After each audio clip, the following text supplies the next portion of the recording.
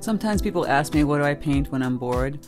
Well, I just get some paper, wet on the back, wet on the front, stop playing around with paint. Maybe you paint a little simple landscape like this. I grab my flat wash brush, I put in the blue sky, I just wash in some green, throw in some trees, you know, just really loose, just twisting the brush, moving it around, tapping it here and there. That's all you really need to do, just to create a simple little landscape, you know. Add some dark values of green, all on there, and then go back in when it's dry, or when still wet, you can add some splashes of like white gouache or white acrylic ink. Creates a nice texture. I'll go back in and add some grasses, add a little color with some violets and some pinks.